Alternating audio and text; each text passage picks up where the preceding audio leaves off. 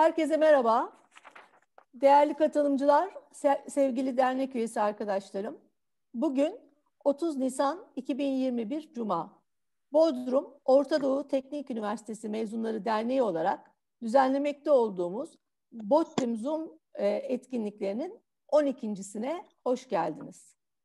Bugünkü söyleşimizde konuk konuşmacımız e, sevgili Leyla Topal. E, bizimle Helenistik ve Roma dönemi kültür ve sanat merkezi Bergama Akropolü başlıklı sunumunu paylaşacak. Leyla Topal'ın özgeçmişini sunuyorum şimdi. 1992 ODTÜ İngilizce Öğretmenliği bölümü mezunu Leyla Topal, 1995 yılında profesyonel turist rehberi oldu. Hala aktif olarak mesleğini sürdürmektedir.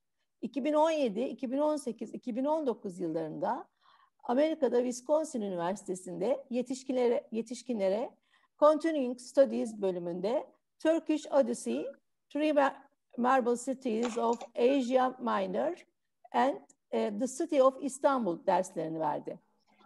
E, konuk konuşmacı olarak Jewish History in Anatolia konusunda söyleşilere katıldı. Madison, Wisconsin'de Türkiye'de yapılan geleneksel yemekler ve Akdeniz mutfağı üzerine yemek kursları ve pandemiyle birlikte Türkiye ile ilgili tüm tanıtım çalışmalarına e, ancak çıktığı YouTube e, kanalında devam edip, ediyor. Evet Leyla'cığım sen de söz.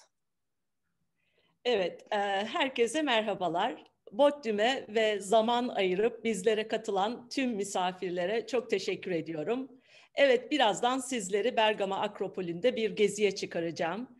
Ama dileğim şudur ki en kısa sürede, sağlıklı günlerde hep birlikte Bergama'ya gidebilmek ve adım adım bu muhteşem kenti birlikte gezebilmek. Sunum sonunda yorumlarınızı, varsa sorularınızı almak isterim. Elimden geldiğince cevaplamaya çalışacağım. Müsaadenizle şimdi e, ekranımı paylaşarak e, sunuma başlamak istiyorum.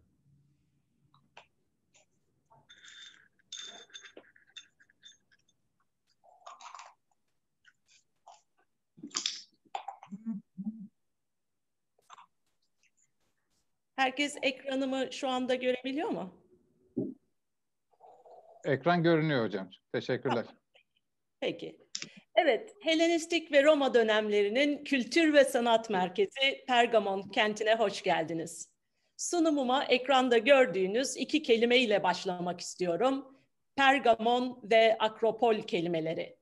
Pergamon adı çok eskidir. Profesör Bilge Umar'a göre büyük olasılıkla Livi, Luvi dilinden gelmiştir. Kale, müstehkem mevki demektir. Akropol kelimesini çoğunuzun bildiğini düşünüyorum. Eski Yunan kent devletlerinde yüksek bir tepe üzerine kurulmuş, etrafı surlarla çevrili, saraylar, özel yapılar, tapınakların olduğu bir iç kale demektir. İşte bu akşam bizler hep birlikte Akropol'ü gezeceğiz. Fakat bu sunumu bugün ekran başında değil de günümüzden 2000 sene önce Pergamon'un sokaklarından yürüyerek yavaş yavaş tatlı bir e, yamaca tırmanıyor olsaydık işte önümüze Akropol'de böylesine muhteşem bir görüntü çıkacaktı. Hemen en alt terasta burada sizlere Zeus sunağını göstermek istiyorum. Onun bir üstündeki terasta Athena tapınağı ve kutsal alanı, kutsal alanın çevresinde stoalar yani üstü kapalı sütunlu galeriler, Kuzey Stoa'nın hemen arkasında antik dünyanın en önemli ikinci kütüphanesi ve kütüphanenin doğusu ve kuzeyinde Bergama krallarının sarayları ve Akropol'e en hakim durumda Roma dönemi yapısı Traianium. Roma İmparatoru Trajan'a adanmış olan tapınak. Bu tabloda görmediğiniz ama benim sizleri götürecek olduğum bir de muhteşem bir Bergama tiyatrosu var. Evet, hep birlikte birazdan bu muhteşem yapıları dolaşacağız.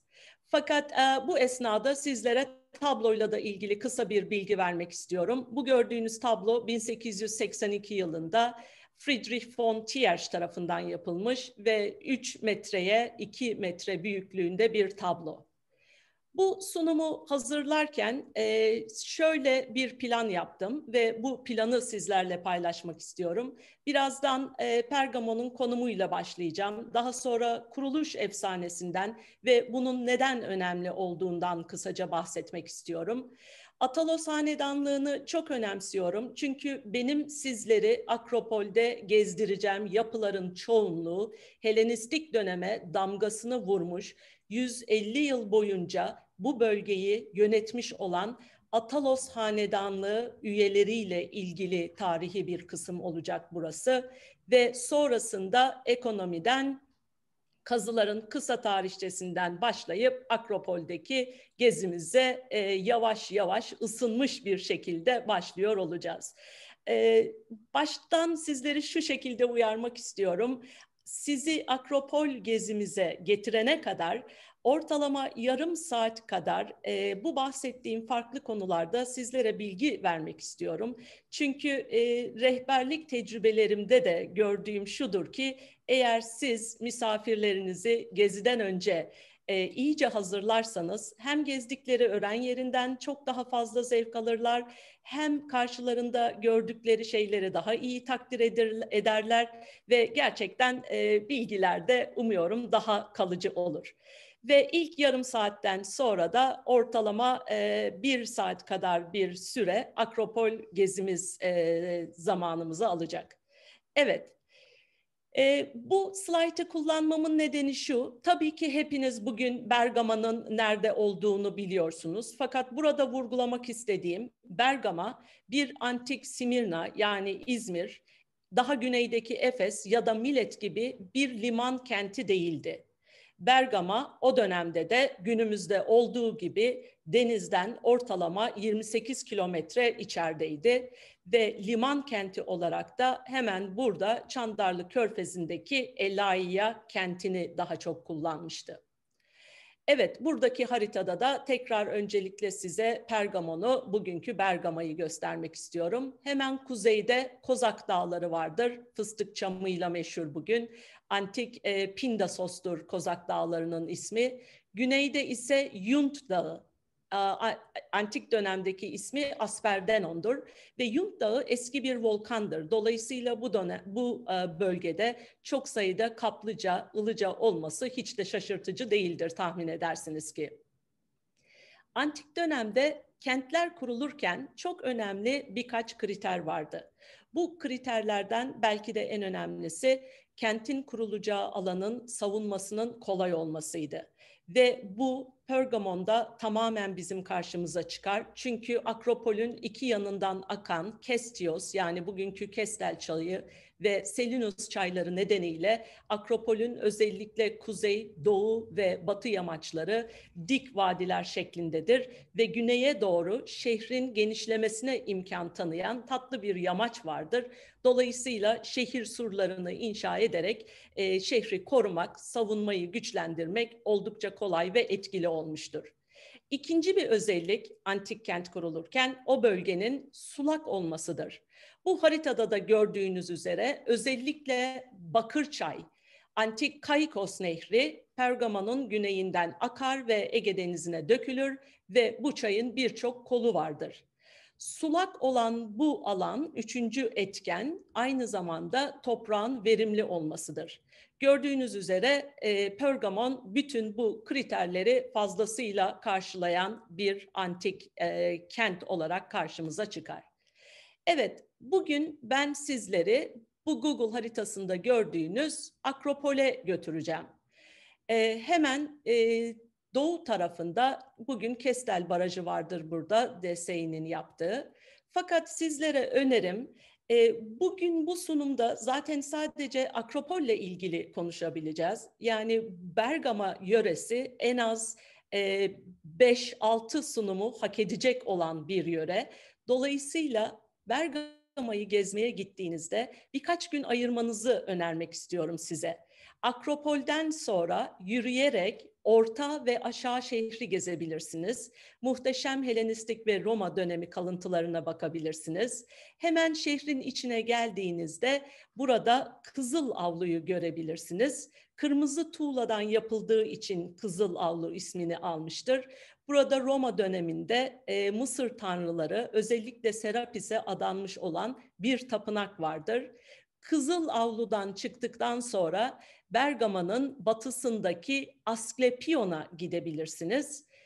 Evet, Asklepion'da sağlık ve tıp tanrısı Asklepios'a adanmış olan bir yapılar topluluğudur. Günümüzdeki bir hastane, sağlık merkezi gibidir ve antik dönemde Yunanistan'da Epideros, hemen Bodrum'un karşısındaki Kosta'da Asklepion e, kalıntılarını görebilirsiniz. Buradaki önemli olan konu ise o dönemde e, sadece psikoterapi değil, aynı zamanda farklı diyetler, su, çamur ve güneş banyoları tedavi yöntemleri olarak uygulanmıştır. Yani günümüzden çok da farklı olmayan tedavi yöntemleri. Ve Bergamalı meşhur doktor Galen milattan sonra 2. yüzyılda burada e, yaşamış, çalışmış ve daha sonra da Roma'ya gidip bazı Roma imparatorlarını da tedavi etmiştir. Peki başka neler yapabilirsiniz? Evet, Bergama'ya gitmişken mutlaka sokaklarda dolaşıp eski Rum evlerine, bu fotoğrafta gördüğünüz gibi muhteşem kapılara bakmanızı öneriyorum. Hala Anadolu kasabası ruhu olan Bergama'da e, antika dükkanları, halı, kilim satan dükkanlar, e, ilginç bir roman mahallesi, Hüsnü Şenlendirici'nin de doğup büyüdüğü bir mahalle var. Evet, artık yavaş yavaş ısınmaya başlayalım. Sizlere şehrin kuruluş efsanesinden bahsedeceğimi söyledim. Bu efsanedeki karakterlerin isimlerini bu şekilde yazdım. Mora kralı Aleos ve kızı Auge, Herakles, belki bazılarınız onu Herküles olarak tanıyor, Telafos ve Misya kralı Teutras. Misya Pergamon bölgesinin içinde bulunduğu antik dönemde coğrafi alan. Yani nasıl Bodrum Halikarnassos Karya'nın bir şehri idiyse Pergamon da Misya'nın bir şehriydi. Bu efsaneyi anlatırken sizlere e, bazı kabartmalar göstermek istiyorum ve bu kabartmalar bugün Almanya'da Berlin'de Pergamon Müzesi'nde sergileniyor. Zeus sunağının iç kısmını süsleyen kabartmalar. Evet, efsanemize göre Mora Yarımadası'ndaki Arkadius Krallığında kral olan Aleus'un bir misafiri gelir. Bu gelen kişi güçlü, kuvvetli Herakles'tir. Burada Herakles'i bir meşe ağacının altında görüyorsunuz. Hemen arkasında oturan bu güzel kadın figürü de kralın kızı Auge. Ve Auge o dönemde Athena Tapınağı'nın bakire rahibelerinden biridir. Fakat gelin görün ki Herakles Auge'yi baştan çıkartır ve bu ilişkiden bir bebekleri olur, bir erkek çocuk dünyaya gelmiştir. Hemen ikinci kabartmaya bakarsanız bu durumu öğrenen kral müthiş sinirlenir ve kızının en ağır şekilde cezalandırılmasını emir, emreder. Dolayısıyla bu kabartmada üstte ağlaşan kadınları görüyorsunuz. Hemen altta da kralın adamları ahşaptan bir sandık yapmakla meşguller. Çünkü kralın emriyle Auge bu sandığın içine diri diri yerleştirilir ve Mora Yarımadası'ndan denize bırakılır. Sandık gelin görün ki akıntılarla Ege kıyılarına Misya bölgesine varır ve burada Misya kralının adamları sandığı açınca içinden çıkan bu güzel genç kızı görürler. Hemen yaşlı krala götürürler. Üçüncü kabartmada Kral Teutras'ı görebilirsiniz ve Teutras Auge'yi evlatlık olarak aldığını ilan eder. Bu arada bakalım Mora Yarımadası'nda durum nedir? Evet, Kral Aleos bu yeni doğan bebeğin de ölmesini istiyordur. Dolayısıyla adamlarına onu bir çınar ağacının kovuğuna bırakmalarını emreder ve zanneder ki vahşi hayvanlar bu bebeği öldürecekler. Ama burada da dişi bir aslan devreye gider, girer ve e, bu bebeği, Telefos isimli bu bebeği emzirmeye başlar ve dolayısıyla bebek e, ölmez ve bu ilk kabartmada hemen telaffuzu köşede görebilirsiniz. Ağaç kovuğundan yavaş yavaş çıkan telaffuzu ve onun hemen e, yanında da babası e, güçlü kuvvetli Herakles, bizim Herküles vardır. gördüğünüz üzere öldürdüğü Nemeyan aslanın da postuna yaslanmaktadır. Şimdi burada şunu vurgulamak istiyorum. Telaffuzun babası herhangi bir ölümlü değildir. Telaffuzun babası yarı ölümlü Herakles'tir. Çünkü Herakles tanrıların babası Zeus'un ve Miken kralının kızı Alkemenes'in oğludur. Bu çok önemli bir ayrıntı. Birazdan tekrar buna geri geleceğim. Ve Telefos genç bir delikanlı olunca annesini aramaya karar verir. Arkadaşlarıyla yola çıkar. Hemen bu kabartmada Telefos'u burada görebilirsiniz. Ve Misya kıyılarına geldiklerinde kralın, Teutras'ın bir savaş halinde olduğunu öğrenirler. Ve kralın kızı Auge bu yeni gelenleri sahilde karşılar ve gördüğünüz bütün bu e, zırhları, mihverleri, silahları onlara verir ve babasının yanında savaşa girmelerini ister onlardan. Telefoz ve adamları bunu kabul ederler ve savaşı kazanan Teutras yeni gelen delikanlıdan o kadar memnun olmuştur ki üçüncü kabartmada gördüğünüz gibi kızı Auge'yi Telefos'a eş olarak verir ana oğul olduğunu bilmemektedir tabii ki Auge ve Telefoz. Fakat Auge yine de böyle bir evlilik istememektedir. Uykusunda Telefoz'u öldürmeye karar verir ve bir hançer saklar elbisesinin içine. Fakat tam öldüreceği sırada aralarında bir yılan e, peydah olur ve Auge ağlamaya başlar. Telefoz durumu fark eder ve e, Auge bütün hikayesini anlatınca anlarlar ki onlar ana oğul. Bu esnada Teutras kralı, e, Misya kralı Teutras ölür ve ölünce de başa Telefos geçer. Telefos'un yaptığı ilk işlerden biri Pergamon kentini kurmak ve ilk kral olmaktır. Annesi Auge de Athena tapınağını a, vakfeder ve kendisi de oranın baş rahibesi olur. Şimdi niye bu kadar zamanınızı alıp da bu kuruluş efsanesini anlattım sizlere? Helenistik dönemde e, kralların kendileri için heron denen yapılar inşa ettirdiklerini görüyoruz. Yani krala tapınma o dönemin geleneklerinde önemli bir yer tutuyor. Ve siz bir kral olarak, ölümlü bir kral olarak çıkıp insanların sizin gücünüzü takdir etmelerini, size tapınmalarını istemeniz tamamen farklıdır. Eğer soyunuzu tanrılara kadar çıkarabilirseniz.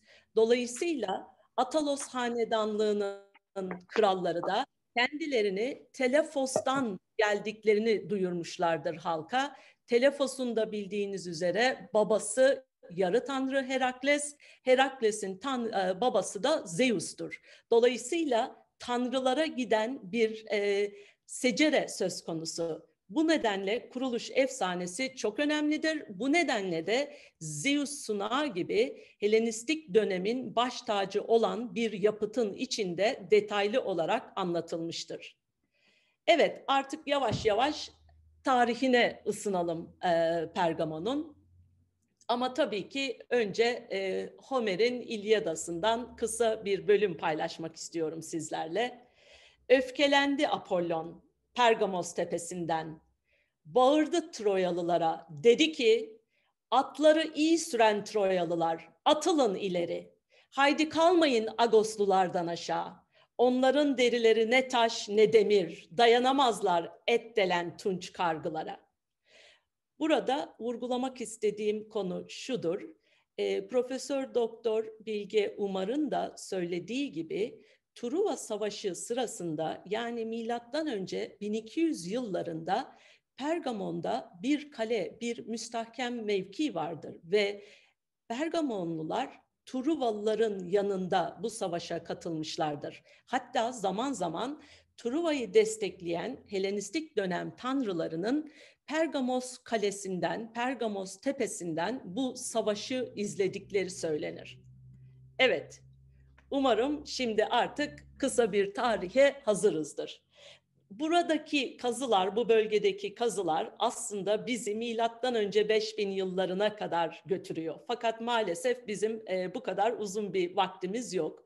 Dolayısıyla ben milattan önce 700 yılları hemen arkeik dönemle başlayıp sizleri 14. yüzyıla getirmek istiyorum. E, kazılar sırasında ele geçen e, duvarların temellerinden ve pişmiş toprak kaplardan anladığımıza göre burada milattan önce 700'den itibaren Pergamon'un olduğu yerde yerleşim var. Karşımıza çıkan Pergamon'la ilgili başka bir kaynak bize Anadolu'daki Pers yönetimi sırasında Pergamon'a bir süre için Gongulos isimli bir valinin, bir satrapın atandığını belirtiyor.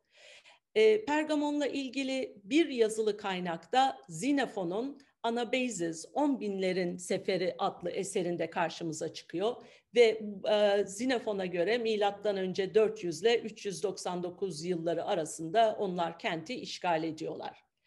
Daha sonra milattan önce 323 yılında Büyük İskender'in ölmesiyle birlikte Makedonya'dan Hindistan'a kadar uzanan bu büyük imparatorluğunda komutanları arasında çok ciddi karışıklıklar, yönetimi elde etmek için e, tutuştukları savaşlar ortaya çıkıyor.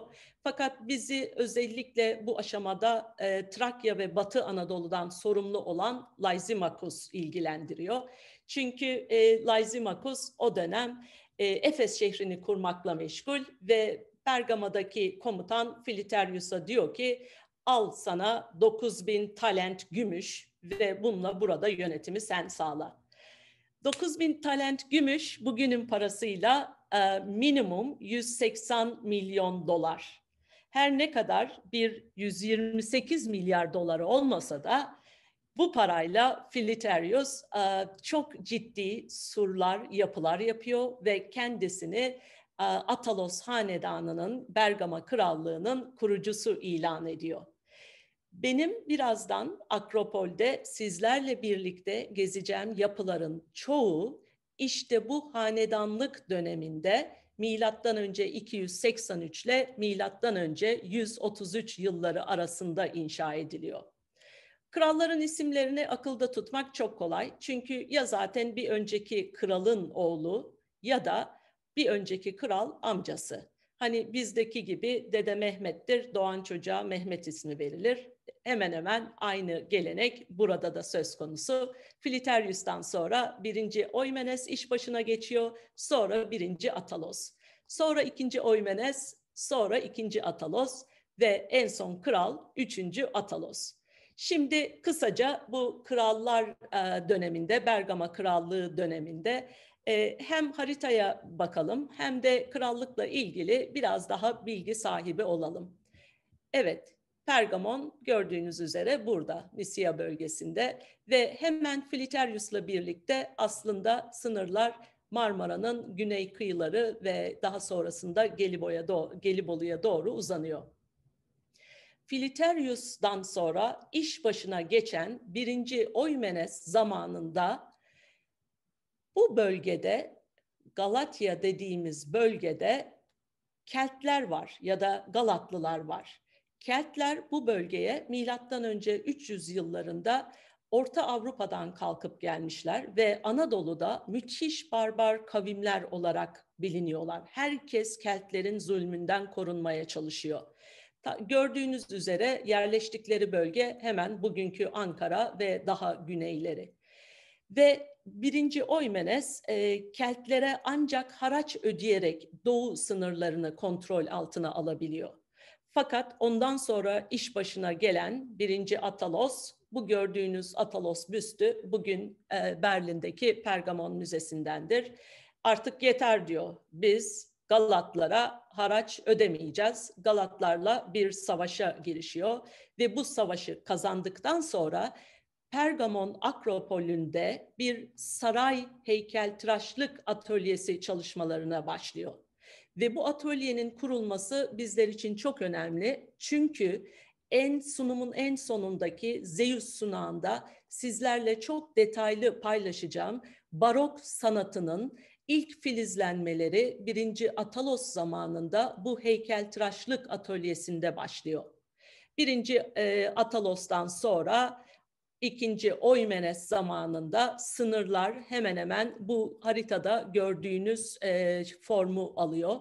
Tüm bu kahverengiler, sarılar vesaire hep milattan önce ikinci yüzyılda bize Bergama Krallığı'nın sınırlarını gösteriyor. İkinci Oymenes'te Makedonyalılar, Keltler, Selikuslara karşı birçok zaferler kazanıyor. Ondan sonra iş başına gelen ikinci Atalos Antalya'da bir liman kenti kuruyor ve kendi adını veriyor bu kente. Adı Atalia. Yani bizim bugünkü Antalya şehrimiz 2. Atalos tarafından kurulmuş oluyor. Ve bu esnada Efes, Simirna hepsi Bergama Krallığı'nın yönetimine giriyor. Evet son kralımız 3. Atalos maalesef çok da sevilen bir yönetici değil. Neyse ki sadece 5 yıl kalmış iktidarda ve e, bu süre zarfında da zaten zamanının çoğunu botaniyle geçirmiş. Ama botaniği kullanma şekli zehir yapmak, daha sonra da pan zehirleri oluşturmak ve maalesef bu yaptığı zehirleri hapishanedeki tutukluların üzerinde deniyor ve hiç de sevilmeyen bir kral. Ama yaptığı en önemli şey milattan önce 133 yılında Bergama Krallığını vasiyetinde Roma'ya bırakıyor ve Roma Cumhuriyeti'nin Bergama Krallığı Anadolu'daki toprakları haline gelmiş oluyor. Zaten bırakmasaydı da artık kısa bir sürede büyük olasılıkla Roma burada hakimiyetini sağlamış olacaktı. Roma döneminde evet yine çok önemli yapılar yapılıyor kentte. Bunlardan özellikle Trajan Tapınağı'na birlikte birazdan bakacağız. Hristiyanlık döneminde de Bergama bir psikopozluk merkezi ama aynı zamanda da Aziz Yuhanna tarafından yazılan İncil'in vahiy bölümünde adı geçen kiliselerden biri. Gördüğünüz üzere Efesos, Simirna, Pergamon, Tiatira, Sardis, Philadelphia ve Laodikya ve bunların hepsi Batı Anadolu'daki aslında kiliseden ziyade buradaki kilise sözcüğü daha çok buradaki ilk Hristiyan toplulukları demek.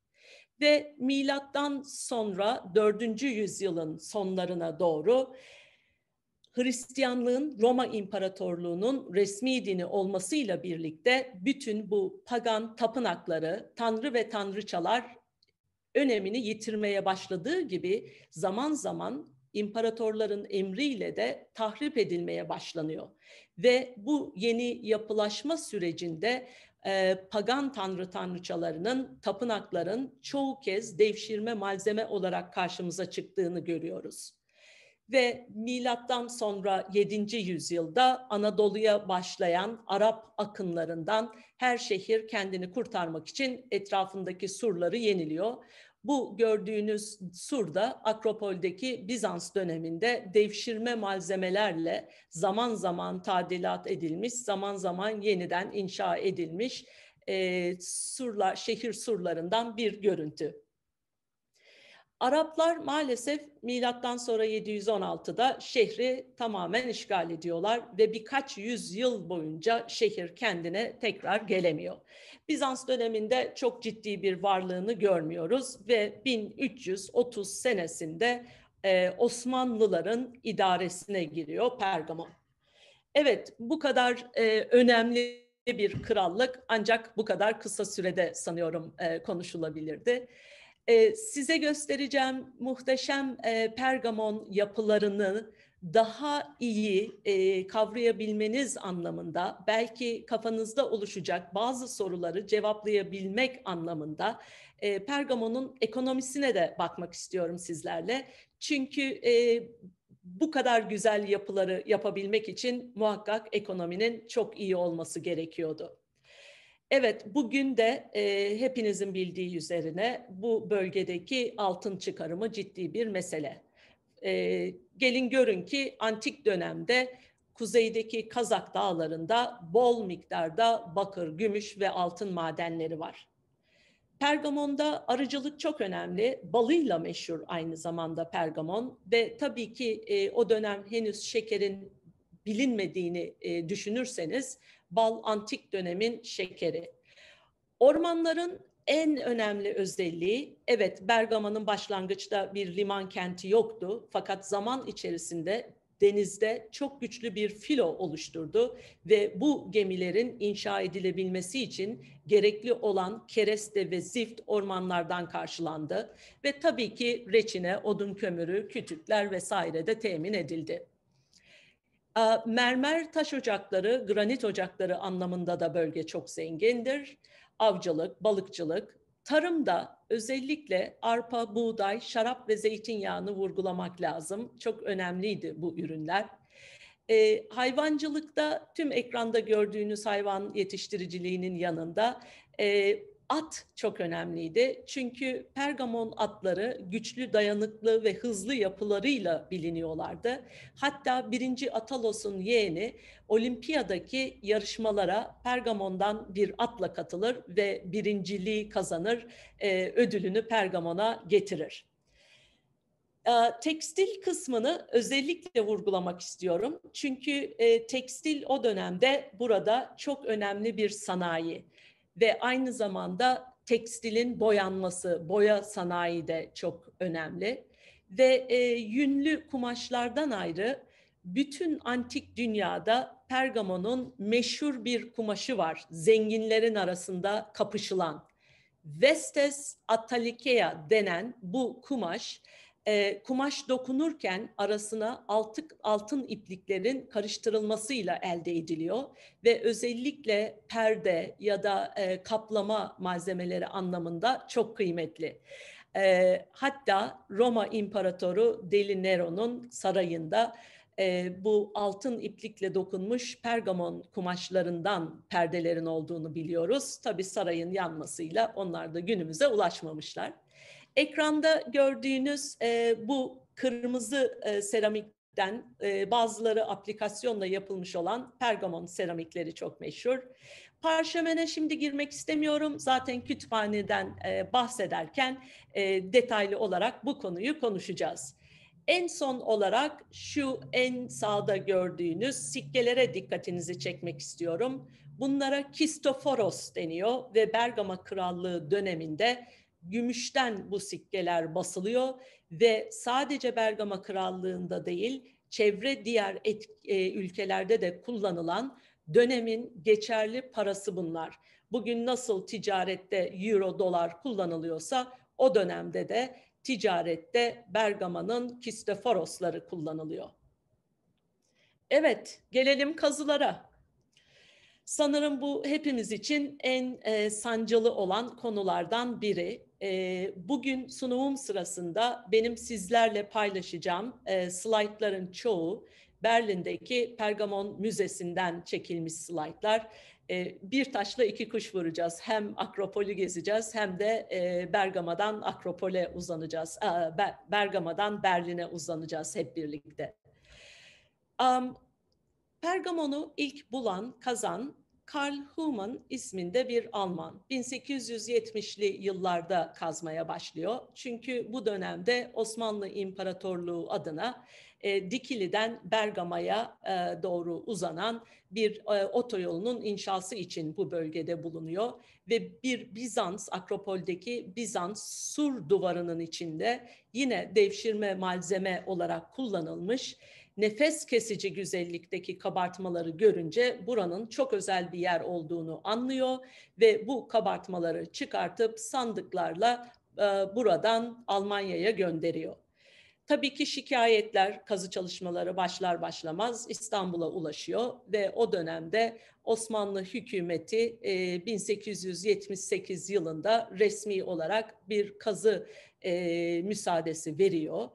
Tabii ki bu kazı müsaadesindeki şartlara ne kadar uyuluyor, ne kadar uyulmuyor, e, bütün bu eserlerin kaçırılmasıyla ilgili herhalde en az birkaç sunum yapılabilir. Bunlara girmek istemiyorum ama e, sizleri Karl Humann'la bu şekilde tanıştırmak istiyorum. Karl Humann 1896 yılında e, ölene kadar e, burada ve 1896 yılında İzmir'de öldükten sonra İzmir'deki Katolik mezarlığına gömülüyor. Fakat 1964 senesindeki İzmir'deki bu e, mezarlığın olduğu bölgedeki imar çalışmaları sırasında onun da mezarı açılıyor ve e, kalıntıları getirilip bugün Bergama Akropolü'nde Zeus sunağının hemen altında gördüğünüz bu mezar inşa edilip buraya defnediliyor. Ve 1878'den günümüze kadar Bergama kazıları Alman Arkeoloji Enstitüsü tarafından yürütülmektedir. İki Dünya Savaşı sırasında molalar verilmiştir ve 2006 yılından beri de Profesör Felix Pearson bu kazıları yürütmektedir. Evet, e, sunum sırasında e, kullanmak istediğim iki slide var sıklıkla sizlerin de göreceğiniz. Bu e, Pergamon Akropolü'nün bize planını gösteren bir slide. Hemen burada gördüğünüz kale kapısından birazdan içeri gireceğiz ve ilk durağımız Athena Tapınağı, Athena Kutsal Alanı, buradaki stoalar ve arkadaki kütüphane olacak. Ve diğer sık sık sizlerle kullanmak istediğim slaytta bu gördüğünüz model. Çünkü sanıyorum model genellikle insanların daha iyi anlamasını, kavramasını sağlıyor. E, Akropol'le ilgili çok önemli birkaç noktaya önce değinmek istiyorum. Burası Atina Akropolü örnek alınarak inşa edilmiştir. Ama Atina Akropolü'nün dinsel ve kutsal karakterine karşın Bergama Tepesi daha çok halk toplantılarının ve gezintilerinin yapıldığı, günlük yaşantının geçtiği, devlet ve ticaret işlerinin görüldüğü alan ve yapılardan oluşmuştur. Üç yanında stoalarla çevrili olan bu Athena tapınağının stoalara oranla ne kadar küçük olduğunu fark edersiniz ve bu da bize dinsel amaçların ikinci plana atılmış olduğunun sanki bir kanıtıdır. Etrafında üç tarafında gördüğünüz bu üstü kapalı sütunlu galeriler, revaklar ya da stoalar kesinlikle daha önemlidir ve halkı soğuktan, sıcaktan koruyan bol gölgeli alanlardır bunlar. Gezme, oturma, konuşma, seyretme ve iş görüşme yerleri olarak çok büyük bir gereksinimi karşılamışlar. O nedenle de daha büyük bir alanı kaplamışlardır. Burada çok önemli bir noktayı vurgulamak istiyorum. Helenistik dönemde din az okumuşların uğraşıydı.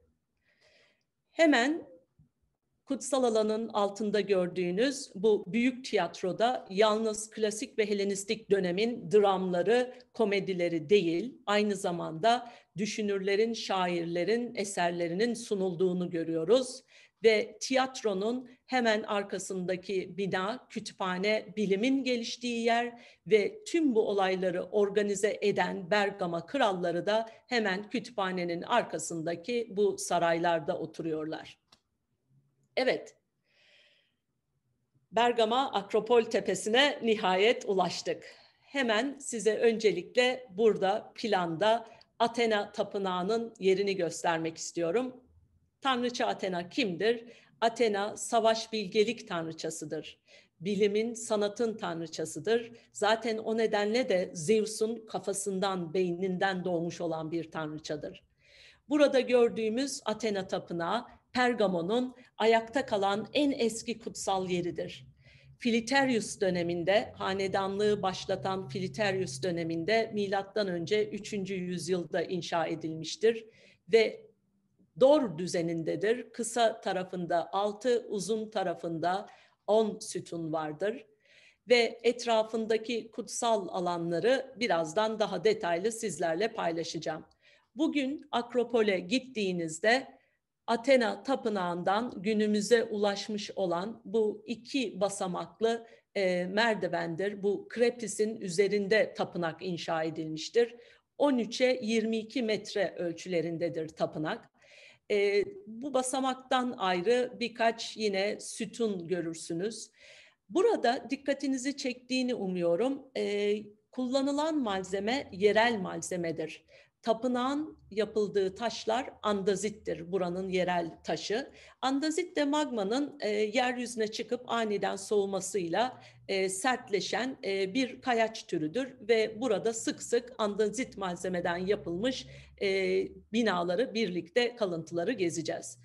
Buradaki bir önemli nokta da şudur. Pergamon kentinin en önemli tanrıçası, kenti koruyan tanrıça Athena'dır. Yani bir kadın tanrıdır.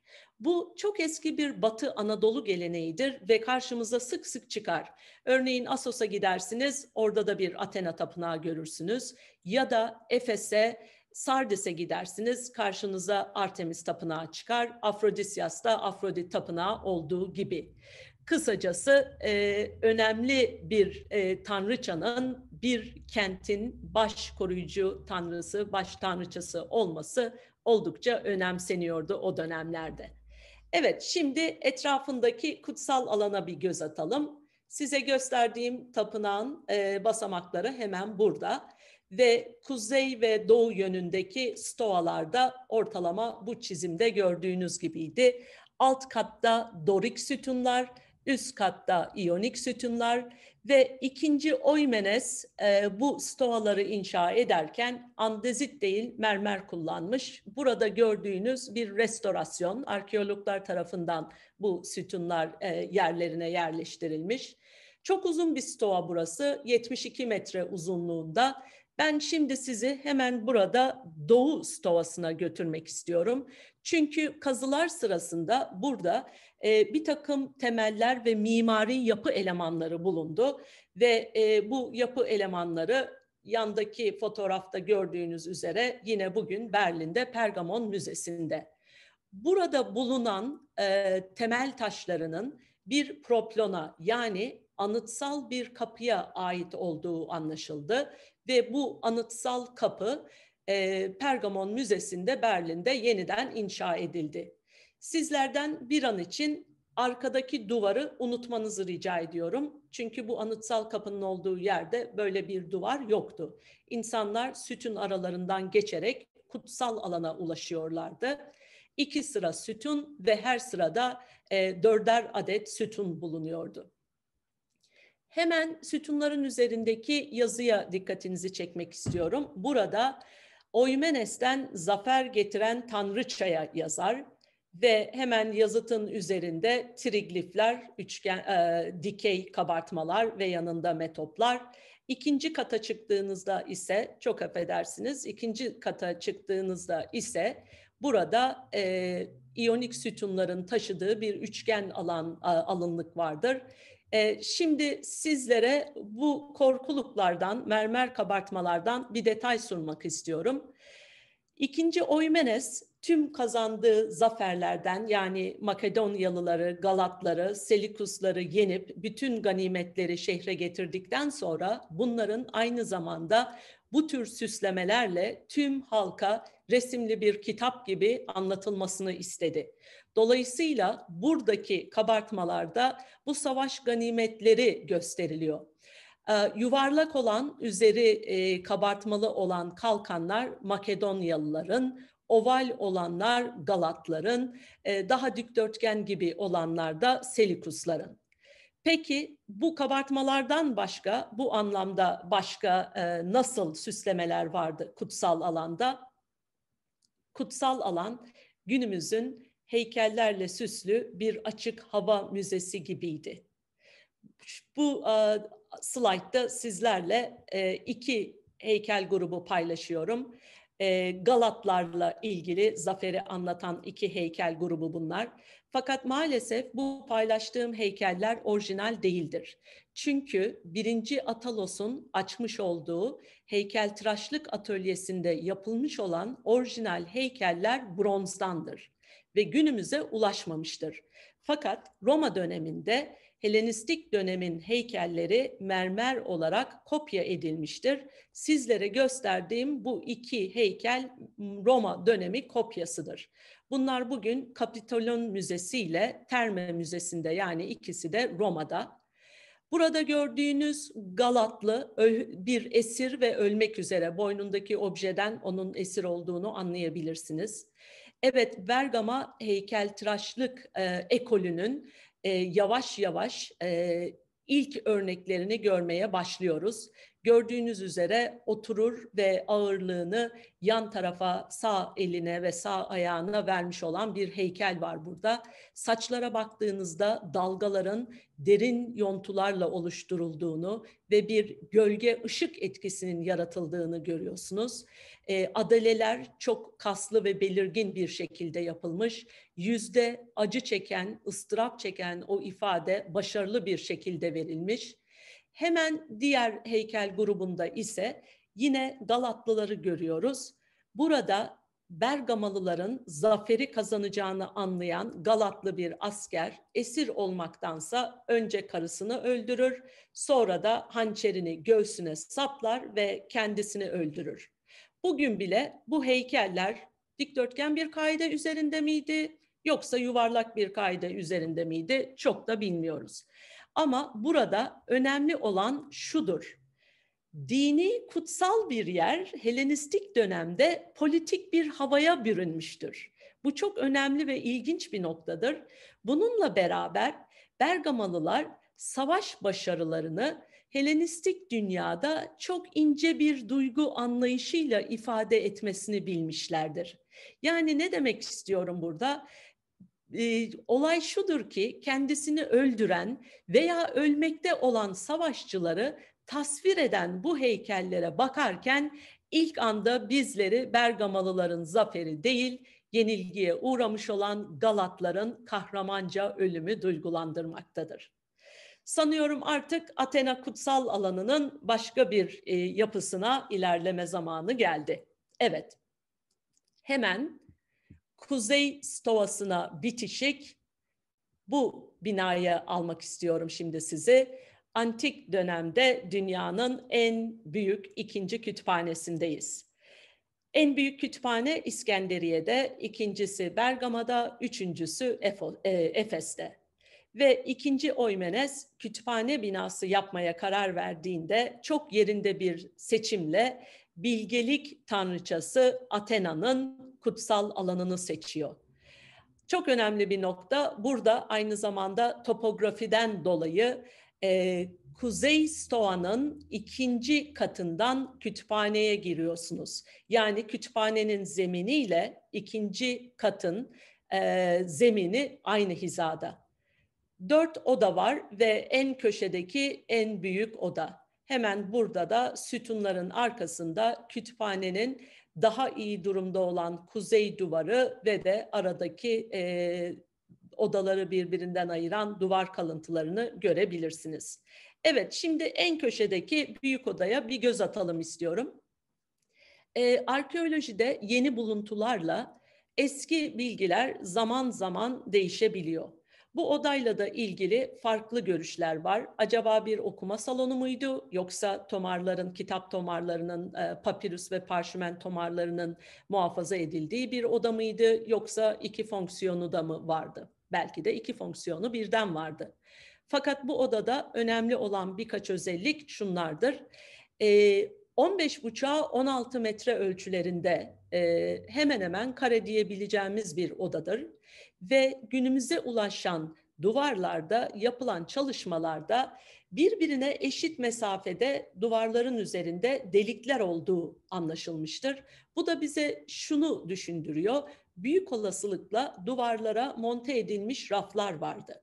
Fakat bu raflarla duvarların arasında arkeologlara göre 50 santim bir boşluk vardı. Böylelikle e, rutubet, işte hava şartlarındaki değişimler bu kütüphanenin içerisindeki tomarları etkilemeyecekti. Kazılar sırasında burada bir heykel kaidesi ve bir de Athena, tanrıça Athena'nın heykeli ele geçti. Ee, ilginç olan şudur ki bu heykelin yüksekliği üç buçuk metredir.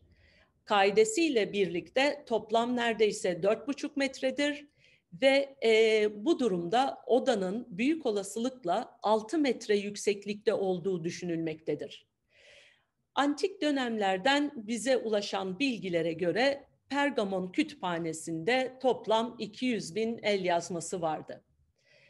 Yapılan çalışmalara göre bu en büyük odada en fazla 15-20 bin civarı e, tomar olabilirdi. Peki gerisi neredeydi? Diğer odaları hesaba katsanız bile bu rakama ulaşmanız çok zor.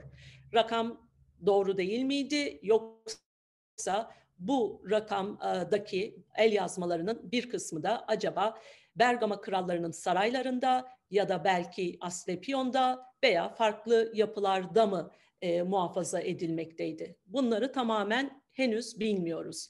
Ama bildiğimiz bu kütüphane ile ilgili bir takım önemli noktalar var.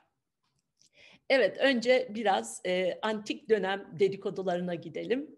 Çünkü e, Romalı yazar Varro bize der ki İskenderiye Kütüphanesi ve oradaki Mısırlılar Bergama'da gittikçe büyüyen bu kütüphaneden rahatsızlardı. Ve ilk başta Bergamalılara papirüs ihraç ediyorlardı. Fakat zaman içerisinde bu papirüsü göndermeyi bıraktılar.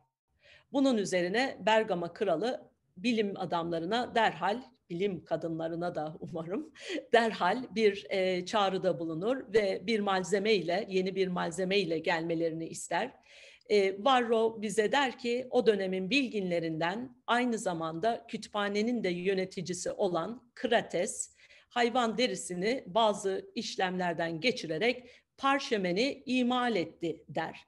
Aslında parşömen çok eski dönemlerden beri var. Fakat belli ki Bergama'da daha farklı bir kaliteye getirilmiş, belki daha farklı işlemlerden geçirilerek ve antik dönemde parşömen Bergama parşömeni o kadar meşhur oluyor ki Roma'ya göndermeye başlıyorlar ve Roma'da Bergama parşömeni membrane pergamena diye anılmaya başlanıyor. Bu da şu demek Pergamon derisi ve bizim bugün kullandığımız parşömen kelimesi de aslında buradan geliyor.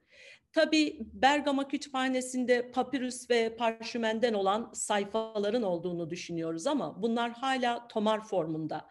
Kodeks yani her iki yüzü de yazılı olan dört köşe parşömen sayfalarından oluşan ciltli kitaplara geçiş daha sonra Roma İmparatorluğu döneminde. Peki bu muhteşem kütüphaneye ne oldu? Ee, söylentiye göre İskenderiye Kütüphanesi yandıktan sonra e, Kleopatra çok üzüldü ve Marcus Antonius bu Bergama kütüphanesindeki eserleri gemilere doldurup Kleopatra'ya yolladı. Evet, maalesef e, bizler için hazin bir son.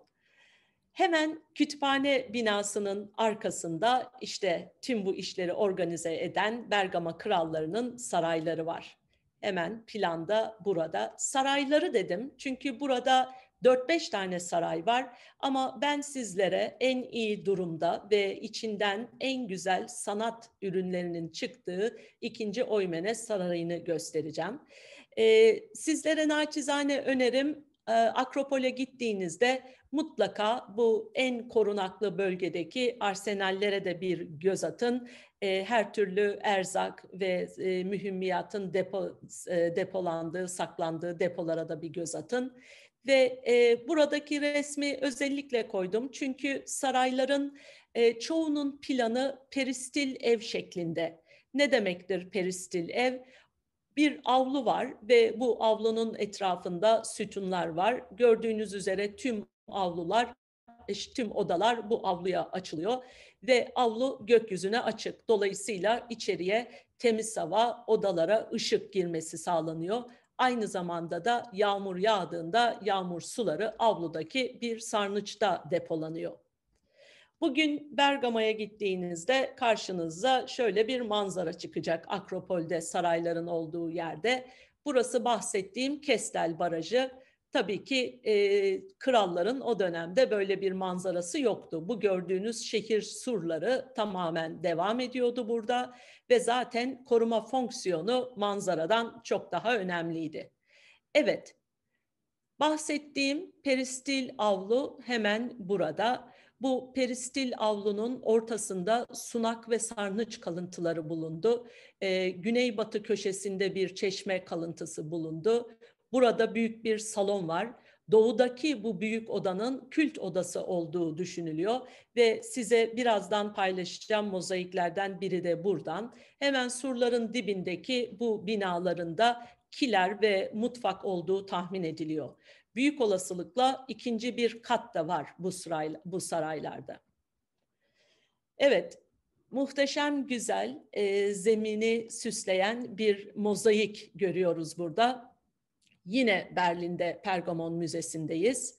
E, çift bordörlü bir baklava dilimi motifi hemen sonrasında boncuklar var. E, buradaki alan ikiye ayrılmış. En altta girland dediğimiz çelenkler var. Bitkilerin yaprakları çok hoş yeşilin, kahverenginin değişik tonlarında e, çiçekler, meyveler, kordelalar, bir bülbül, hemen altta bir ağaç kakan, e, muhteşem renklerle cıvıl cıvıl bir sahne ve bunun hemen üzerinde de mozaiklerle oluşturulmuş ama neredeyse tablo gibi görünen üç eser var. Maalesef ikisi günümüze ulaşmamış ama ben sizlere İskender papağanı denen bu mozaiği göstermek istiyorum. Buradaki mozaik parçaları, tesseri dediğimiz mozaik parçaları çok küçük, yarım milimetre ile bir milimetre arasında. Kült odasında bulunan bu mozaik de çok ilginç. Oldukça geniş bir bordür var gördüğün bordür var gördüğünüz üzere. Ee, burada saç örgüsü deseni var. Şimdi sizlerle bu sarmaşığın detayını paylaşacağım yine e, kenar dekorasyonundan. E, bu geometrik formlar neredeyse üç boyutlu. Siz baktığınızda üç boyutlu bir esere bakıyormuş gibi hissediyorsunuz kendinizi. E, orta kısmından günümüze çok fazla şey ulaşmamış ama şurada çok önemli, çok hoş bir detay var size göstereceğim. Önce sarmaşığa bir bakalım. Gördüğünüz üzere yine böyle çok güzel bitkiler, yapraklar, e, çiçekler ve onların arasında koşturan kanatlı bir eros. Buradaki spirale baktığınızda da yine o üç boyutlu izlenimi alıyorsunuz. Dikkatinizi çekmek istediğim bir nokta da şu. E, cursor'ı gördüğünüz yerdeki e, bu mozaik tanelerinin buradaki tanelerden daha büyük olduğunu görürsünüz. Yani içeriye gittikçe bu teseriler, mozaik parçaları küçülmüştür. 1 milimetre ile en büyüğü de 3 milimetre arasındadır bu parçaların. Biraz önce e, size bahsettiğim detay hemen bu alttaki fotoğrafta. Maalesef karşımıza çok sık çıkan bir durum değil. O nedenle çok şanslı hissetmeliyiz. Burada bu mozaiği yapan sanatçının ismi kendisi sayesinde bizlere günümüze ulaştı. Evet bu mozaiğin üzerinde yine mozaikle yazılmış olan Hepastion yapmıştır yazısı var. Ben şahsen bayılıyorum buna çünkü sanki bir parşümen üzerine yazmış gibi ismini ve e, yaptığını belirten notu. Sonra da bu notu almış e, sanki bal mumuyla bir parşümenin üzerine dört kenarından yapıştırmış. Ama sağ alt köşe kalkmış gördüğünüz üzere ve yukarıya doğru kıvrılmış. Peki bu güzel e, mozaiklerden başka saraylarda nasıl dekorasyonlar vardı? Tabii ki renkli mermerlerle ve ayrıca e, sıvalarla, stakolarla duvarlar süslenmişti.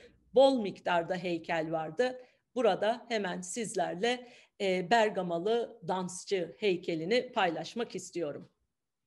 Evet, şimdiye kadar Akropol'deki Helenistik dönem yapılarını gezdik. Şimdi kısa bir molayla bir Roma dönemi yapısına sizleri götürmek istiyorum. Evet, plana bakarsanız hemen tapınak, kütüphane, saraylar ve şu anda bu bölgedeyiz. Roma döneminde, Roma İmparatorluğu döneminde Akropol'ün bu en hakim noktasına bu tapınağın yapılmasına karar vermiştir Roma İmparatoru. E, bundaki tabii ki önemli etkenlerden birisi şudur. Roma döneminde öyle bir tapınak yapılmalıdır ki buraya bütün vadiden, her yerden görülebilsin. Bugün bile Bergama'ya gittiğinizde sokakta yürürken Akropol tepesine şöyle bir kafanızı kaldırıp baktığınızda bu tapınağın beyaz mermer sütunlarının güneşte pırıl pırıl parladığını görürsünüz.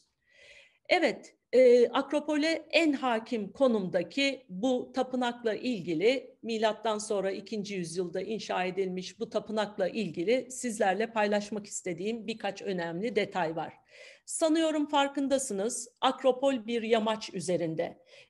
Bu tapınak yapılırken de e, maalesef bu tapınak yapılırken altta bu terası inşa edebilmek için yeterli bir e, alan yok.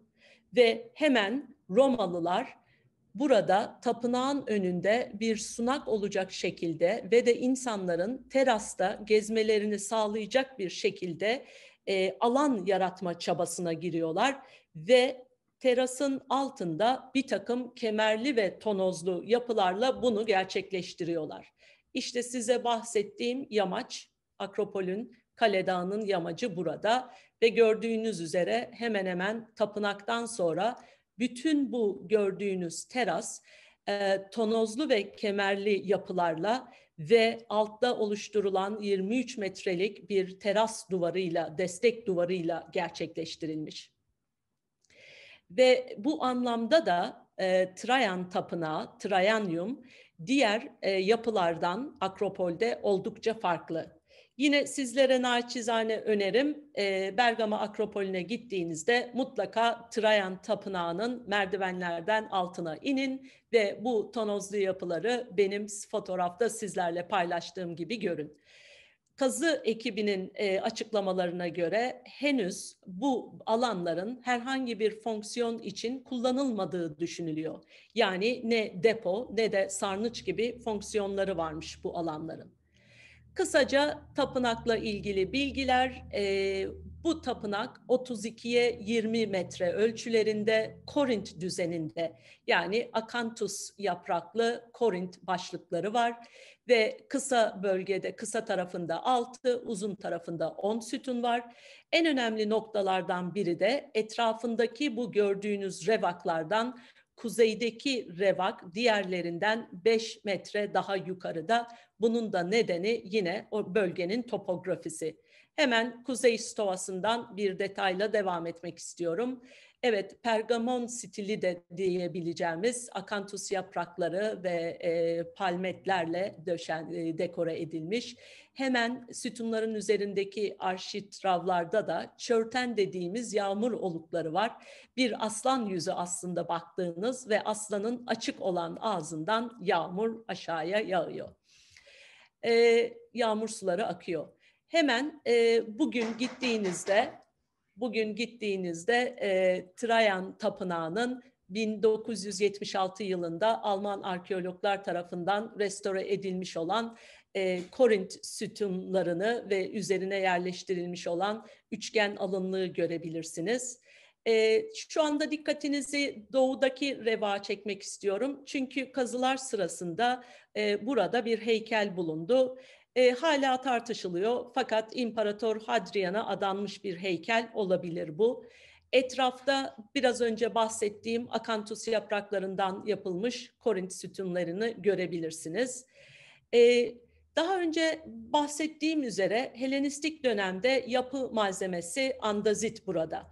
Ama çoğunuzun bildiği üzere Romalılar mermeri çok sevmişlerdir. Dolayısıyla eğer bir binayı andazitle yaptılarsa bile Pergamon örneğinde olduğu gibi onu mutlaka mermerle kaplamışlardır. Eğer buradaki köşeye bakarsanız demek istediğimi rahatlıkla görebilirsiniz. Kazılar sırasında ele geçen en ilginç bulgulardan iki tanesi de Trajan ve Hadrian heykel başları. Evet bu e, tapınak Trajan'a atfedilmiş 110, ee, milattan sonra 114 yılında e, inşa edilmeye başlanmış ve büyük olasılıkla ondan sonra iş başına geçen Roma İmparatoru Hadrian'ın milattan sonra 129 yılında Anadolu'ya yaptığı ikinci seyahat öncesi tamamlanmış. Ve bu tapınakta Trajan, Hadrian hatta belki de Zeus'a da tapınılmış. Ee, önemli detay burada şu, bu gördüğünüz heykel başları ve arkeologların verdiği bilgiye göre Diğer uzuvlar yani kollar ve ayaklar mermerdendi. Fakat heykelin gövdesi ahşaptandı ve üzerinde altınla kaplanmış bir zırh vardı. Ve bu heykelin heykellerin her birinin boyutu beşer metreydi. Birkaç detayla Trajan Tapınağı'nı noktalamak istiyorum. Evet, sütunların akantus yapraklı Korint sütunlarının üzerindeki arşitravda hemen yumurta, dart desenleri, palmetleri görebilirsiniz. Ve tabii ki tapınağı kem gözlerden koruması için Medusa'nın kabartmaları da burada yerleştirilmiştir. Evet, artık e, Bergama Krallığı'nın en önemli yapılarından biri olan e, tiyatroya gidelim. Hem önemli hem de çok ilginç. Anadolu'daki birçok tiyatrodan çok daha farklı bir tiyatro Bergama Tiyatrosu. Gördüğünüz üzere dik bir yamaç üzerinde yükselen etkileyici bir profili var bu tiyatronun ve bütün akropol yapılarının bu eser çerçevesinde yelpaze şeklinde yer almış olması onun görkemliliğini ve çekiciliğini bir kat daha arttırmaktadır. A, tiyatro bu şeklini ikinci Oymenes zamanında kazanmıştır ve burada gördüğünüz teatron, kaveya ya da auditorium dediğimiz bölüm toplam 80 sıradan oluşur ve şu aşağıdaki yarım daire şeklindeki orkestradan en üstteki sıraya olan yükseklik 36 metredir. Ve kaveya iki e, pasajla üç ayrı bölüme e, ayrılmıştır. Bu yatay pasajlar ve aynı zamanda gördüğünüz 74 santim genişliğindeki dikey pasajlar insanların, e, seyircilerin yerlerine kolaylıkla ulaşmalarını sağlamıştır. Burada da yapı malzemesi andezittir. Fakat sadece şu bölgede e, mermer görürsünüz. Bunun da nedeni e, bu e, oturakların Bergama kralları ve şehrin e, üst düzey yöneticileri için ayrılmış olmasıdır. Bergama tiyatrosu Anadolu'nun en dik tiyatrosudur ama bunun dışında bir özelliği daha çok önemlidir. Helenistik dönemde Bergama tiyatrosunun kalıcı bir sahne binası yoktur. Yani normalde burada iki katlı bir sahne binasının olması lazım. Bergama tiyatrosunda bunu görmezsiniz. Bunun da nedeni şudur. Hiçbir şekilde aşağıdaki manzarayı bloke etmek istememişlerdir ama bundan da önemlisi hemen tiyatronun önünde 246 metre uzunluğunda Dionysos Tapınağı'nda, burada gördüğünüz Dionysos Tapınağı'nda biten bir yol vardır. Dolayısıyla bu tiyatroda oyun olduğu zaman bir portatif ahşap sahne binası getirilmiş ve buraya yerleştirilmiştir. Hemen size orkestra yakınındaki bu delikli andazit taşları göstermek istiyorum. Ahşap sahne binasının direkleri bu delikli taşlara yerleştirilmiştir portatif sahne kurulmuştur. Lütfen portatif dediğime bakmayın çünkü e, elimize geçen bilgilere göre burası e, sarayın sanatçıları tarafından bu sahne binası yapılmıştı. Dolayısıyla çok e, hoş dekorasyonların, renklerin olduğu oldukça süslü bir sahne binasıydı. En çok hayranlık ve gıptayla baktığım şeylerden biri de e, bu konuyla ilgili şudur bir oyun olmadığı zaman yani sahne binasının malzemeleri başka bir yerde depolandığında bu gördüğünüz deliklerin üzerine taş kapaklar yerleştiriyorlar ve buradaki yolla aynı hizaya geliyor. Hani bizim bugün caddelerde yürüyüp de takılıp düştüğümüz ya da araba lastiklerimizi mahvettiğimiz rogarların yüksekte olması gibi bir durum günümüzden 2200 sene önce e, Bergama'da görülmüş şey değil. Evet, hemen e, sizlere de bahsettiğim üzere, evet Roma döneminde bir kalıcı sahne binası yapılıyor ama bu sahne binasından günümüze ulaşmış pek bir fazla bir şey yok maalesef. Sizlere anlattığım 246 metre uzunluğundaki yol budur. Bir kısmında yine revaklar vardır bu tarafta ve bu yolun sonunda Dionysos'a adanmış bir tapınak vardır. Dionysos tabii ki şarap, tiyatro tanrısı. Heykellerinde hep üzüm yaprakları, üzümleri görürsünüz. Ve e, hiç şaşırmıyoruz bu tapınağın burada olmasına. Çünkü tiyatrolarda ya Dionysos için bir mermer sunak bulunurdu e, ve oyunlardan önce ona adaklar yapılırdı ya da tiyatronun yakınında burada gördüğünüz gibi bir tapınak binası inşa edilirdi. Hemen önünde mermer sunak var. Bu slaytta çok iyi görüyorsunuz. E, Akropol'deki diğer tüm yapılar batıya bakıyor. Fakat topografik nedenlerle Dionysos Tapınağı burada gördüğünüz üzere güneye bakıyor. Önünde e, 20 basamak var. Bu basamaklardan çıkarak iyonik sütunların olduğu pronaos yani giriş kısmına ulaşıyorsunuz ve bir üçgen alınlık var sütunların üzerinde. Sonrasında da tapınağın sella odası ve e, Dionysos tapınılan tanrı ya da tanrıçanın heykelinin olduğu sella kısmı var. Ve e, önemli bir nokta daha tapınağa 4,5 metre yüksekliğe ulaşan bu 25 basamakla çıkıyorsunuz ve tapınağın podyumu önündeki yüksek merdiveni çevresine egemen bir yüksekliğe sahip oluşu arka ve yan taraflarının görülmemesi nedeniyle Roma topraklarının Bergama'daki en güzel Roma tapınaklarının Bergama'daki en güzel örneklerinden biri.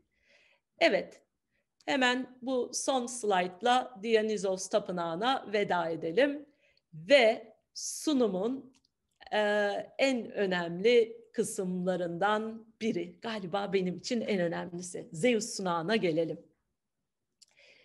Önce sizlere tekrar bu e, maketin fotoğrafını göstermek istiyorum. Gördüğünüz üzere Zeus sunağı burada. Diğer tüm kutsal alanlarda etrafta revaktan, stoalardan bahsettik.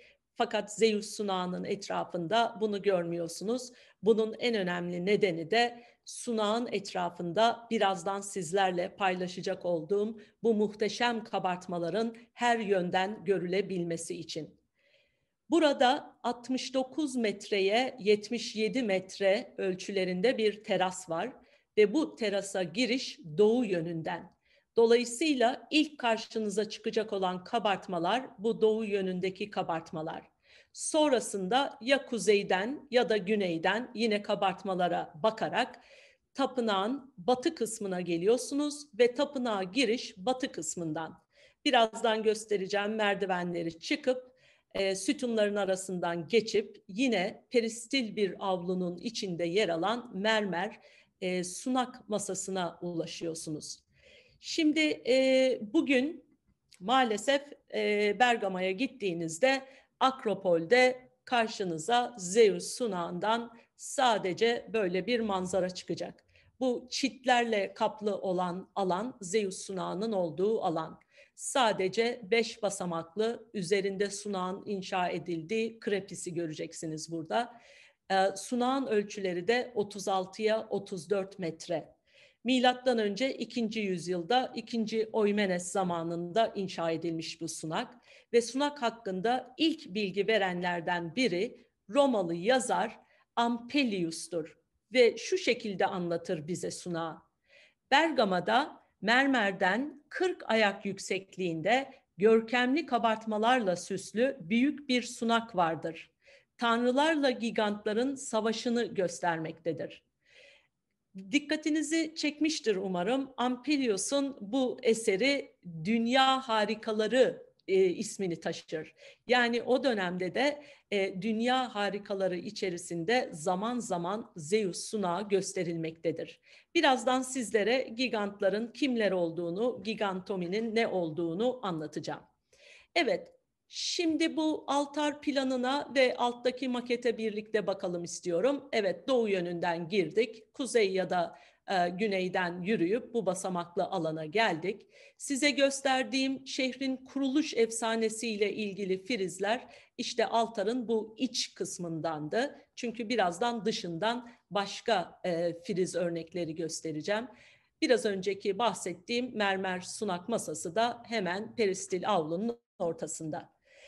E, Akropol'de sadece bu beş basamağı göreceğinizi söylemiştim. Hemen onun üzerinde podyum denen, üzerinde hiçbir dekorasyonun olmadığı düz bir alan var.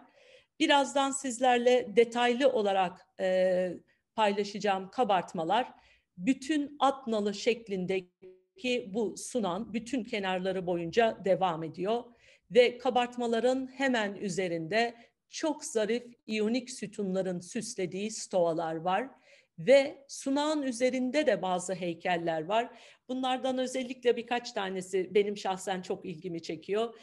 Bunlar Olympus Dağı'na yani biraz önce sonra bahsedeceğimiz gigantlarla Olympuslu tanrılar arasındaki savaşa son anda yetişen tanrılar. Hatta bunlardan denizlerin tanrısı Poseidon o kadar son anda gelmiş ki saçları hala ıslak ve yağmur e, şey su damlaları var saçlarında.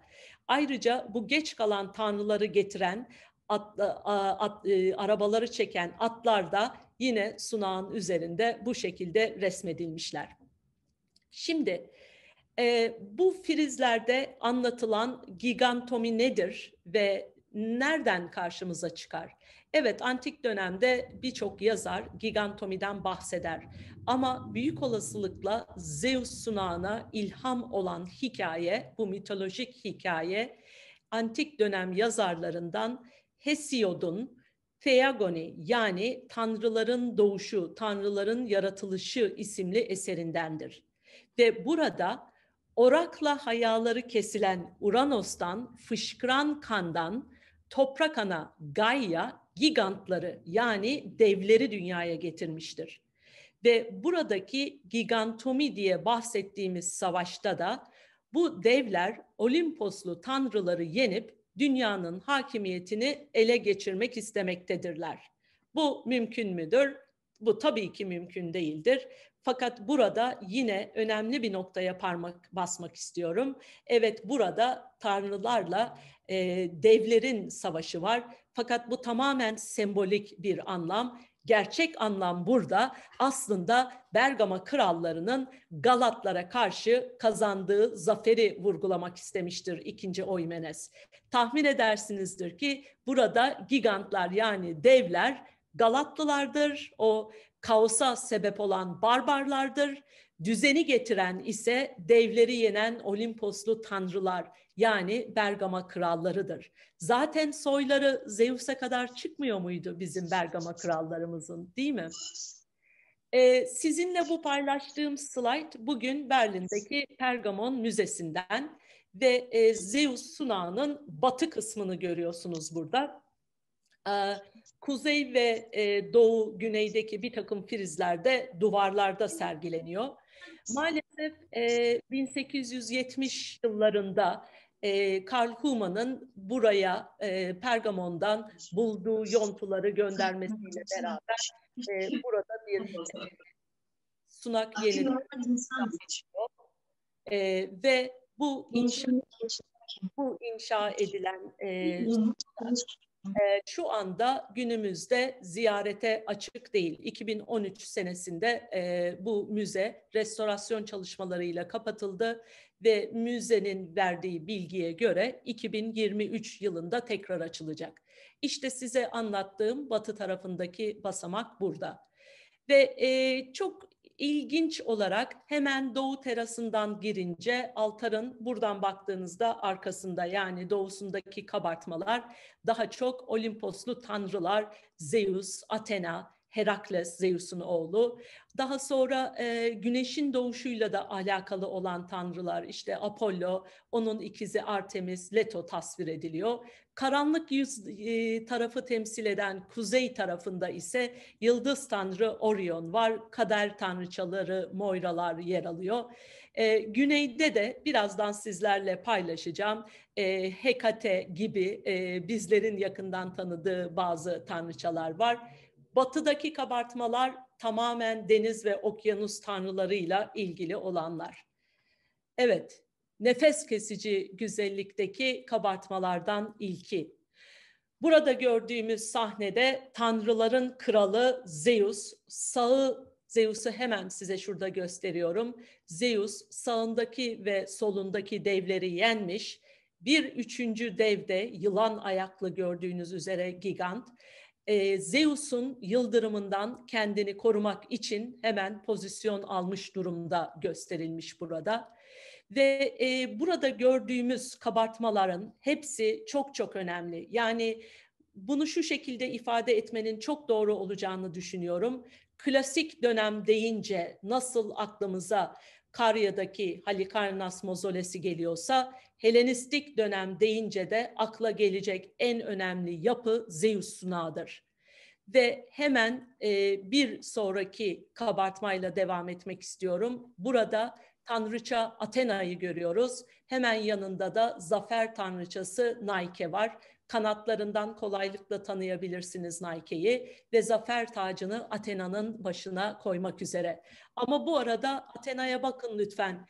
Bu e, toprak ana Gaia'nın oğlu Alkinos'u toprağa bastırmak üzere, yenmek üzere saçlarından tamamen asılmış ve Gaia bir şeyler yapmaya çalışıyor oğlunu kurtarmak için. Bu hey, burada gördüğünüz kabartmalar, buradaki sanatsal inovasyonlar, yüksek heykeltıraşlık e, kalitesiyle yapılmış olan bu rölyefler, bunlara aslında rölyef demek bile doğru değil. Bunların hepsi sanki arkalarındaki duvardan çıkıp da aramıza karışacak olan heykel durumundalar. İnanılmaz derinlikler var hepsinde ve birebir göğüs göğüse çarpışan tanrıçaları ve e, gigantları tekrar tekrar e, yaşadıkları bu olayı seyirci olarak karşılarında biz de yaşıyor olarak bulacağız kendimizi. Evet, biraz şimdi Pergamon'un e, barok sanatının etkilerinden de bahsedelim. Burada gösterdiğim size bir detay, biraz önce bahsettiğim sahne. Eğer dikkat ederseniz kaslar burada abartılmış bir şekilde işlenmiş. Giysilerin Athena'nın elbisesinin alt tarafında rahatlıkla görebilirsiniz. Diagonal kıvrımlarda derin gölgeler yaparak oluşturulmuş. Böylelikle yine o ışık ve gölge e, kontrastları yaratılmış. Vücut hareketleri sert ve oldukça keskin. Tipik barok heykeltıraşlığının özellikleri e, saçlar tamamen dağınık ve dalgalar yine derin oyulmuş kontrastları yaratıl, yaratmak için. En belirgin özellikler ise derin gözlerin trajik bir biçimde yukarıya doğru bakması çatık kaşlar ve ağzın yarı açık olması. Bu kabartmaya baktığımızda o yüzdeki patosu, acıyı, onun ıstırabını sanki bizler de hep birlikte hissediyoruz. Diğer birkaç e, kabartmayla e, sunumumun sonuna yaklaşıyorum. Hemen e, bu kabartmada tanrıça Artemis ve Hekate'yi görüyoruz. Hekate'ye e, çoğunuzun e, yabancı olmadığını düşünüyorum. Hemşerimiz sayılır. Yatağın yakınlarındaki Lagina Kült Merkezi'nde bildiğiniz üzere Hekate kültü vardır. Bu tanrıça ay, gece, ölüler, yeraltı ve büyücülükle ilişkilendirilmiş olan bir tanrıçadır. Şimdi size buradan bir detay daha göstermek istiyorum. Çok heyecan verici bu kabartmalar. Çünkü her sahnede müthiş bir yaratıcılık var. Betimlenen silahlar, kıyafetler, ayakkabı sandaletler her seferinde farklı ve bu örnekte gördüğünüz gibi müthiş detaylı. Artemis'in sandaletinin üzerindeki bu detaylara bir bakın lütfen. Ve bu görsel malzeme daha da zenginleştirilmiş ve bu daha da zenginleştirmeyi gerçekleştirmek için aslında Helenistik dönemde bir takım metal parçalar da var bu kabartmalarda. Yani ellerindeki ok, mızrak gibi metal parçalar. Bu kısım belki çoğunuzun hoşuna gitmeyecek ama o dönemde bu kabartmaların hepsi polikrom yani oldukça e, parlak renklerle e, boyanmış. Şimdi e, son dört slaytla benim en çok hoşuma giden kısmıyla Zeus sunağının bu sunumumu tamamlamak istiyorum. Biraz önce bahsettiğim gibi altarın batı yüzü bu ve e, Bergama'nın nasıl batısında deniz varsa Zeus sunağının da batısında Ege denizi var. Dolayısıyla batısındaki tüm kabartmalar deniz ve okyanusla ilgili kabartmalar. Şimdi bu kabartmaları daha detaylı göstereceğim size ama şu noktaya dikkatinizi çekmek istiyorum. Kabartmaların podyum bittikten sonra merdivenlerde devam etmekte olduğunu lütfen fark edin.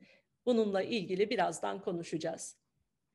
Evet, batı tarafında ilk karşımıza çıkan Amfitrite, denizler tanrıçası Amfitrite, Poseidon'un eşi ve aynı zamanda onların oğlu Triton.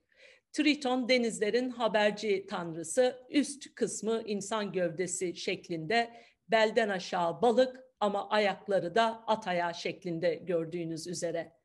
Hemen köşeyi dönünce karşımıza denizlerin ihtiyar tanrısı Nereus çıkıyor ve ondan birkaç e, kabartma sonra da okyanusların tanrısı Okeanus var. Ve bahsettiğim merdiven detayları işte burada başlıyor. Bu batı girişinin her iki tarafında basamaklarla bütünleşen tüm bu heykeller gerçekten nefes geçici ve mimari ile heykeltıraşlığın bundan daha fazla örtüştüğü, iç içe geçtiği başka bir sanat eseri bulmak neredeyse mümkün değil. Bu devasa rölyefler öyle bir enerji, dinamizm taşıyorlar ki sanki bu buz gibi mermer basamaklardan sıyrılıp kabartmalardan fırlayıp birazdan bizlerin arasına karışacaklar. Evet, sabrınız için hepinize çok teşekkür ediyorum. Ee, yararlandığım bazı kaynakları burada paylaştım. Olur da ilgilenenler bakmak isterlerse diye.